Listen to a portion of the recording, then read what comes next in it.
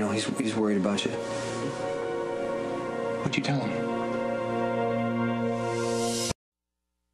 Well, you you asked me not to say anything, so I didn't. I mean, your dad thinks that you got the bruises from a guard. All I hid is prison. The guards don't like people with the last name Corinthos. What else did you talk about? Uh, your dad said he's trying to get you out of here as soon as he can. So you just talked about me the entire time. Well, we talked about business. You know, we, we have a few problems with Johnny right now. And you can't deal with it because you're in here.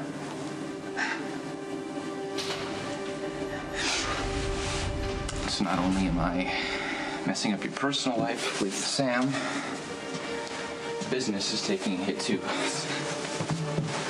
Sorry. Okay. Michael. None of this is your fault. And just so you know, I do not regret my decision.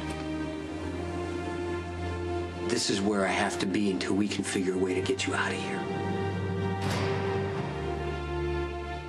Uh, you're gonna have to tell me how the schedule works in here. Remember from last time? No, last time they they had me in this special holding cell while I was waiting for, for my trial. I never made it out to general population. Oh. We wake up at 5 a.m. The lights come on all at once.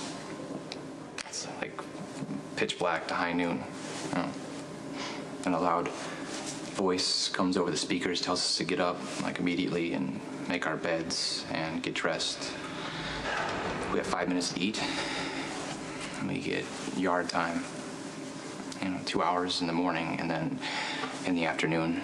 And um, after lunch, we get split up into work crews. We do like laundry, we do dishes, and um, oh yeah, bathroom duty, which sucks. It's the worst. It's uh, that's nasty. What about free time?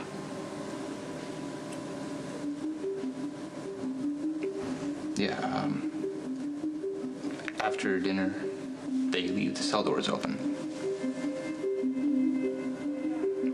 They they they, uh, they close the cell doors at night, and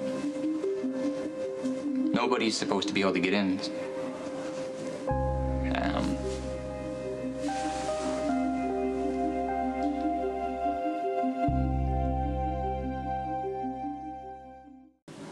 Sonny and your mom and I mean all of us. We were hoping that you would have a different life. You know, a better one.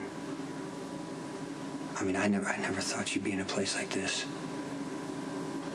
So I never taught you the skills that you need to survive. I I know how to fight. I know, I'm Michael. Oh, I know you, you, you've hit people. You've been hit. But this, this is different ballgame here. Okay, obviously these people are here. Hey, they're here for a reason. Okay, if they didn't know how to fight when they got here, they know how to fight now. So I'm going to teach you a few things to help you defend yourself. So the person not only can't get up, but you hurt them so bad they don't want to get up. Okay, um, I'm in. I mean, I'm, a little surprised, though. Why? Why, I figured you want me to lay low. Know, stay out of your way while you do all your protecting, like you always do. No, you're not a kid anymore. We'll start tomorrow.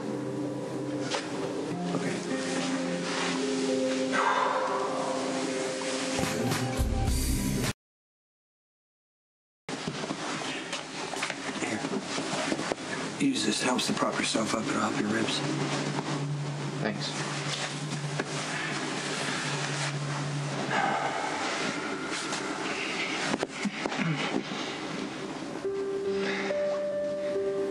You're gonna make it through this, Michael.